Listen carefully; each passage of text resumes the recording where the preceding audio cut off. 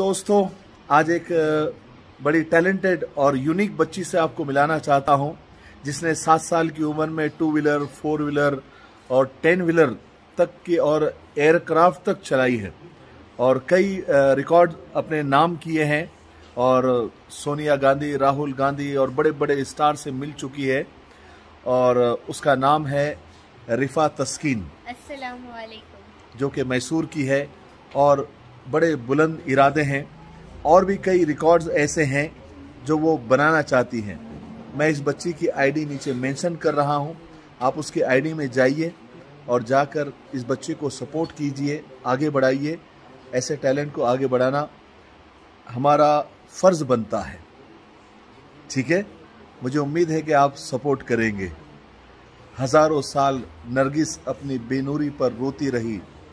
बड़ी मुश्किल से होता है चमन में दीदावर पैदा। अलैक्म